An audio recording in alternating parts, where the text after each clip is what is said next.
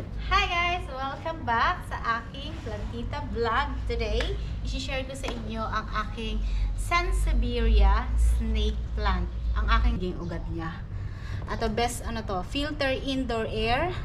Even sa kaya sinasuggest ko sa night kasi kahit sa night nakakaano siya, nakaka-filter siya ng air. Tsaka remove toxic pollutant din. Tingnan natin yung itsura niya guys. At saka napaka low maintenance ito. Tingnan natin yung kanyang ugat. Bubos natin siya dito sa alam. Ayoko kasi sirain yung ano, yung yung pot kasi sayang. Kasi pwede siyang basagin.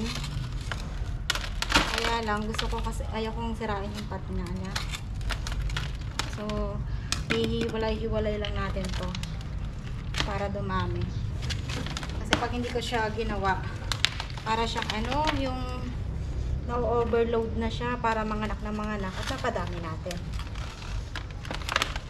Saka pwede rin siya to guys sa ano ha, sa water. Sa water, madali lang din siya mag-ugat. Tsaka alam nyo ano to, natural um, effective against allergies. Kung may mga allergies kayo, pwedeng pwede nyo siyang ilagay sa, sa, sa ano, sa indoor, sa may tabi nyo ng bed. Maganda siya kasi nakaka-air nakaka, ano siya, ng, clean siya ng hangin. Kaya dikit na dikit kasi eh. Oh my gosh! Uy, ayun, nabasag na. Wala, nabasag. Wala tayong choice. Kailangan natin basagin yung ano, yung pot, clay pot. Kasi, hindi pala siya pwedeng mabunot. Kasi tingnan mo yung ugat niya, oh. Dikit na dikit.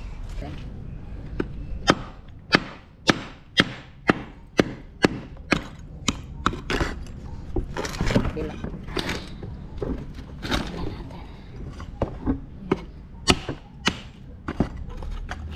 Ah, sayang ang aking pot. Yung putoy-puti na yan, ayan yung may mga puti-puti. Parang bug. Bug siya talaga. Kan? Ito. Parang sakit niya. Ayan o. Oh. Ah, ayan ah. Ayan. Yan yung ugat niya, guys. Sayang ang aking paso. Pero okay lang yan. Kasi meron naman tayong ayan, marami ako niyan. 1, 2, 3, 4, 5 yan. Marami ako niyan. Kaya dyan natin siya ililipat. Oh my G.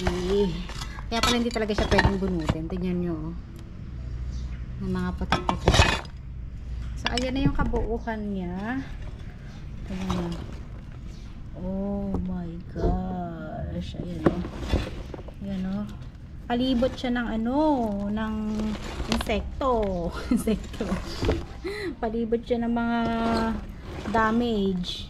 Ah, ganyan o. Kaya talagang punong-puno na talaga siya. Kaya kailangan niya na talagang i-propagate. So, ayan. Iisa-isa. So, nakikita nyo ba yung ugat niya? Ayan, eh. So, ang laki ng ugat, oh. Para madali siyang paghiwa-hiwalayin, kailangan matanggal yung lupa. Na walang mahawak sa hose. Ito. Ayan. Pag nalinis na natin to, natanggal na yung lupa. Saka natin makikita yung yung ugat.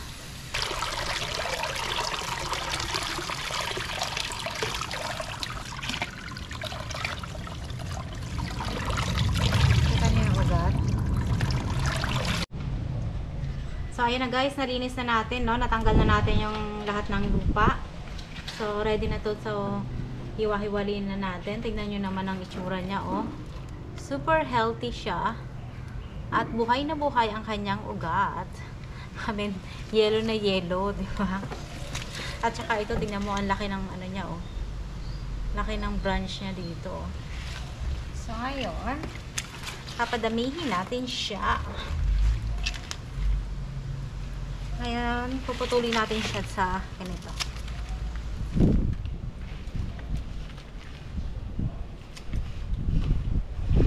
Makakailan pat kaya ako nito. Tignan mo yung loob. Oh. Ganda kung makapopokus. Eh. Tignan yung, yung loob. May mga puti-puti din. Putulin na natin yan. So, ayan. One. So, mahaba na kasi siya guys. Ayan.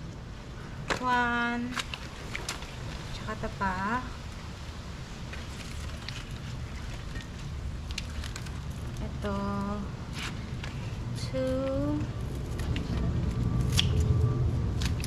Alam mo na tinalim ko to, isang ano lang siya, isang ganito lang. Isang ganito ko lang siya na, na parami. So ito, dalawa. Dalawa na siya. And then, pangatlo ito.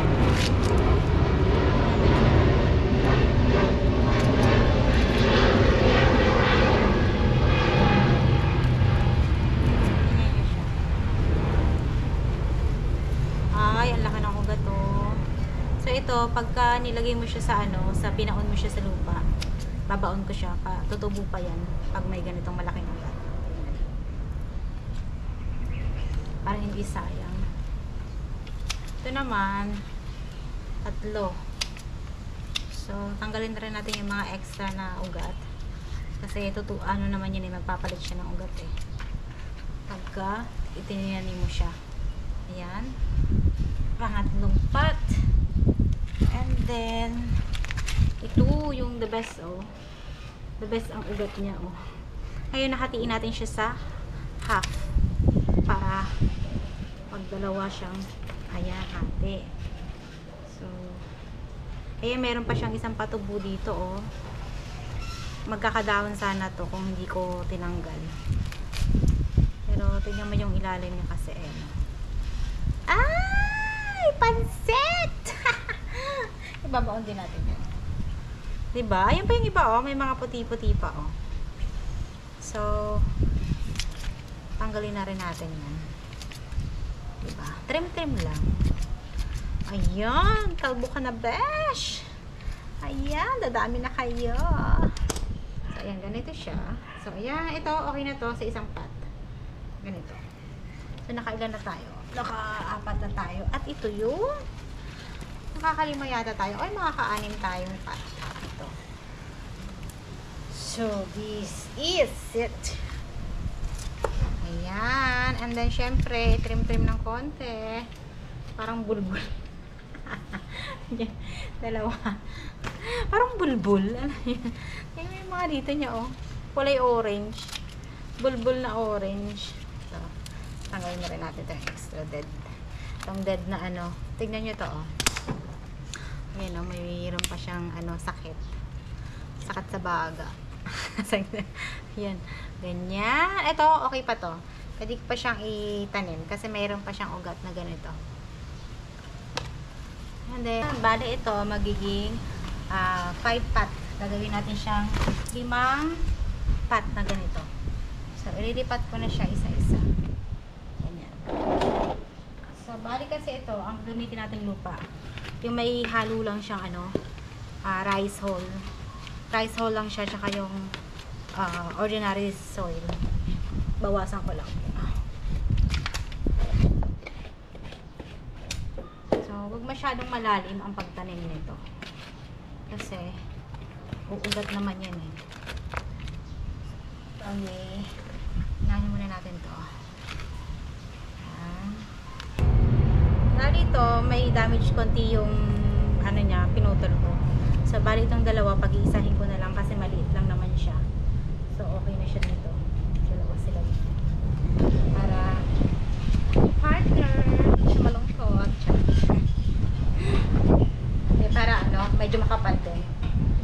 Kasi mali manipis lang naman yun eh. Maliit lang. So, may para may space siya. Isa-center nyo lang para yung may space siyang tumubo sa gilid. Ayan. Ayan. Dalawa. So, isa na lang. Then ito, sobrang laki. Ayan, oh. Ito mahaba na siya, matangkad na siya guys. Oh. Tsaka lang laki ng leaves. Ganyan lang siya. Ito.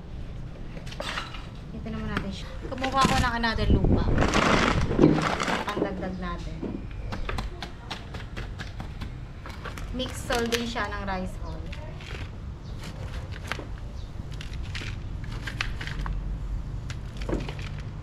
Ang kagandahan dito, kahit hindi mo siya gano'ng diligan, okay pa rin sa kanya. Pwede nyo ilagay sa ano, sa living room, bedroom. Kasi anti-allergy din pala to. Ay, nasabi ko na pala. Yung pag may allergy kayo, pwede pwede to. Kasi nga, nakakapagpalinis to ng hangin. Kaya recommend talaga siya. Kaya ito yung paper, isa sa mga favorite kong halaman. Yung mga madadaling alagaan. Yun. Kasi, plantita tayo pero ayoko mag-alaga ng masaselan. yung kalateya maselan masyado. Marami na akong tanim dito. Marami na rin akong tanim nun. Pero kasi yun, mahirap siyang padamihin kasi natatakot akong i-propagate. Kasi malay, maka, bin- binili ko siya ng medyo mahal.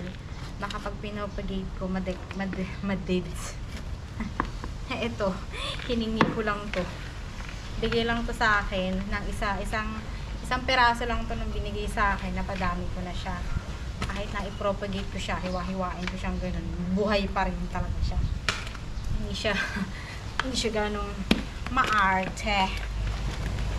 Which is mura lang naman to. Mabibili mo, mabibili mo lang siya ng pag hindi pattern. Yung mga cuttings, makakabili ka ng ano, 50 pesos, depende kung makapal.